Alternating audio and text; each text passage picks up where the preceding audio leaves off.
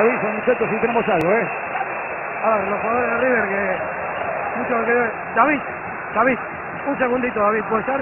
No quiere hablar David, no sé qué. Bueno, los jugadores de River se van con una bronca. La gente está silbando. Yo creo que es demasiado duro. Eh, el resultado, insisto, es un resultado que no tiene contexto, que no eh, se puede explicar a partir de un descuido defensivo en un lugar débil de River, que es la espalda de Juan Manuel Díaz. No quiero este, culpar a Díaz de esto, lo que digo es para eh, ubicar el sector y que la gente entienda. En la primera no lo siguió Campos, hizo el Gobotino. En esta lo siguió Keco Villalba y no llegó.